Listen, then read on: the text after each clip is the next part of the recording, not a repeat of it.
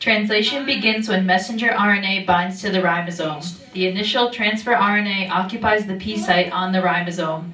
Subsequent transfer RNAs with bound amino acids first enter the ribosome at the A site. The complementary matching of three nucleotides of the transfer RNA called the anticodon and three nucleotides on the messenger RNA called the codon ensure the correct sequence of amino acids. The messenger RNA passes along the ribosome in short, in short spurts of three nucleotides at a time.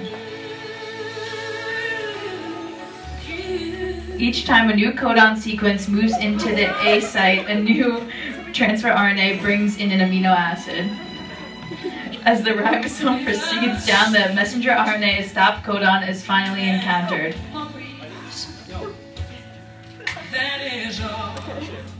At this point, the ribosomal complex falls apart and the protein is released into the cell.